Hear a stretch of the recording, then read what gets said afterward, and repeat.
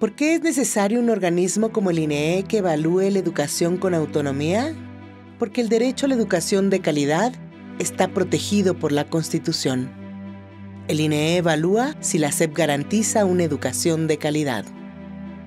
En educación, a obscuras no. Instituto Nacional para la Evaluación de la Educación.